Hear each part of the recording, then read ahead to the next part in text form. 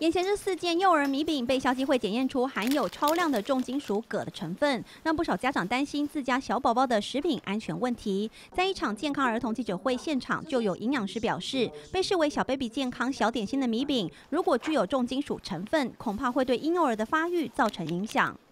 就是铬会分所谓的急性跟慢性中毒啊，那长期在小量的之下，就会比较容易造成慢性中毒。那慢性中毒呢，就是它最有名的就是所谓的痛痛病哦，然后再就是也会影响到肾脏还有骨头哈软骨病哦。其实，在从源头里面你要管控好，它的土壤里面有没有疑虑，那原物料里面要在做检测，这是一个产品对消费者一个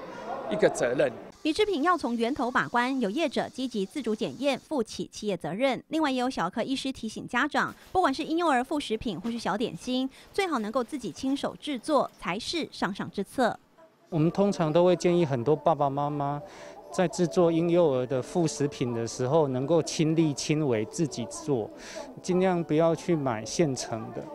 那如果真的是需要买现成的话，有的时候也会建议说，尽量在各个厂牌之间轮替，而不要固定同一个厂牌大量的使用。不止小宝宝的食品健康要注意，医师也建议大一点的儿童平常要多喝牛奶、吃毛豆，补充足够的营养。在日常生活中，最好每天喝足一千五百 CC 的水，以及培养不吃零食、睡满八小时，还有运动等好习惯，才能让家里的小朋友健康快乐成长。人间卫视李如李琦台北采访报道。